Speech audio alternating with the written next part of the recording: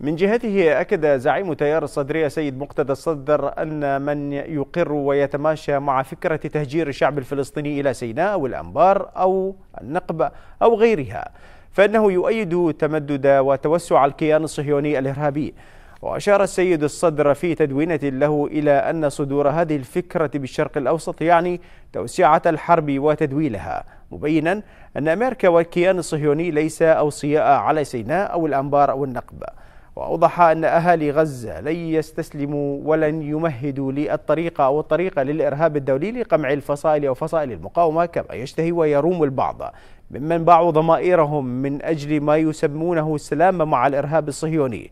وتابع أن التطبيع والسلام المزمع مع الصهاينة ما هو إلا عبارة عن توسع وتمدد يهودي يستهدف الإسلام بدل أن يستهدف من أحرق اليهود في ألمانيا.